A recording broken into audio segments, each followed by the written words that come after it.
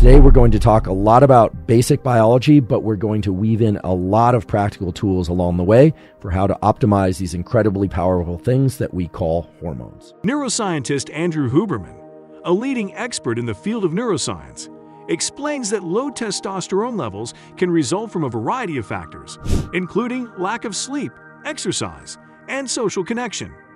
We're here to unpack everything he has said about increasing testosterone levels and energy. But what exactly is testosterone? And why is it so important?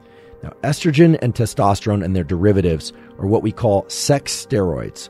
Now, the sex steroids immediately call to mind sex, for obvious reasons, and steroids, meaning anabolic steroids. But I just want to emphasize that estrogen and testosterone are present in everybody. It's their ratios that determine their effects. So today we're going to talk about how you can optimize the ratios depending on your particular life goals.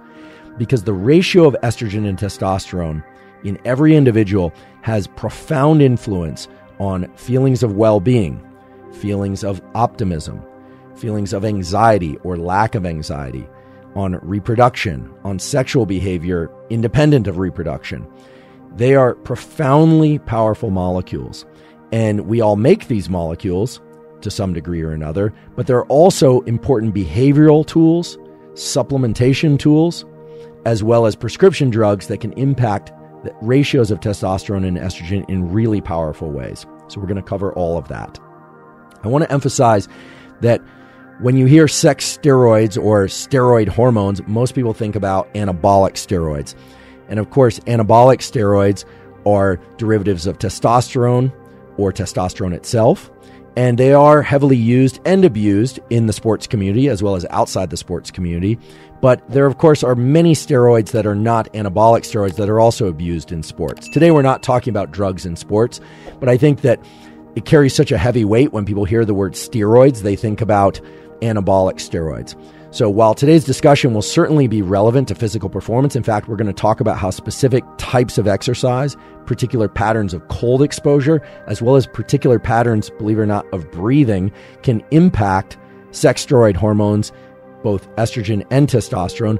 Testosterone plays a powerful role in determining which members of a given species will get to reproduce, which ones of that species will actually get access to females. It's actually more so that the males that have higher testosterone forage further and will fight harder for the females.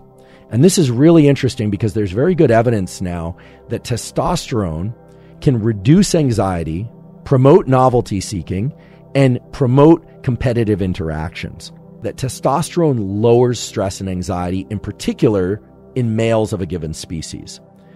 Now, this is important because we often think of testosterone as creating whatever masculinization or it's, you know, virilization or all these these terms are thrown around. But what's it really doing when it comes to mate choice and competition? What it's doing is it's reducing the threshold for anxiety. And in doing so it selects individuals of a given species to push further being willing to you know suffer more um, although it also reduces pain, so maybe they also suffer less, in pursuit of reproduction in females. Now, it's well known in humans that both males and females who have elevated levels of testosterone will engage in more novelty seeking. And I do want to point out that even individuals without testes have testosterone, and peaks in testosterone have similar effects regardless of whether or not someone has ovaries or testes. Testosterone increases generally lead to more foraging, more novelty seeking, increases in libido, and increases in desire to mate. So it is the case that increases in testosterone promote competitive and foraging type behaviors. Interestingly, Huberman notes that estrogen also plays a role in male libido, and that balanced levels of both hormones are crucial for overall sexual health. Many of us are familiar with the concept of pathogenesis, the idea that there are all these scary diseases like dementia and heart disease and stroke and all these things that await us if we don't take good care of ourselves and that might await us even if we do. That's the pathogenic model. Salutogenesis is something I learned about from one of my Stanford medicine colleagues, which is a different orientation toward health and well being, where you're taking on particular behaviors, you're taking on a particular stance towards nutrition and exercise, supplementation, etc., in order to promote well being above where you would be if you were not doing those behaviors. Now, if you think about it, these two things, salutogenesis and the pathogenic model, are really two sides of the same coin. But I'll just give an example of how this might affect you in a real way. If you like exercise because it feels good, great. But many people exercise or eat well for that matter in order to avoid heart disease or to avoid dementia, to avoid um, you know negative changes in body composition. And while that's powerful and certainly is the case that exercise will help you move away from all those things, the salutogenesis model differs in that it involves a mindset and an orientation towards doing those things in order to feel good, in order to enhance your level of energy, in order to improve endocrine function and metabolic function. So it's really part of the pathogenic model. And yet, salutogenesis is really more of a mindset toward why you would do these particular behaviors. If you tell people that the behavior that they're about to do in this case, it was people cleaning up hotel rooms because that was their job. If you tell them that it's good for them, then you see much greater positive health effects than if they aren't aware of that information, that it's good for them. So we should really be thinking about not just moving away from disease and negative things, but also why certain things are good for us because it's well established now from really good scientific studies that keeping in mind the positive effects of things can really have an outsized effect on well being, right down to the level, level of our physiology. So, what can we do to naturally optimize our testosterone levels and maintain high energy levels? Breathing through the nose, not through the mouth, is powerful for improving lots of things. A nasal breather and avoiding being a mouth breather can actually positively impact hormones, and in particular the hormones testosterone and estrogen.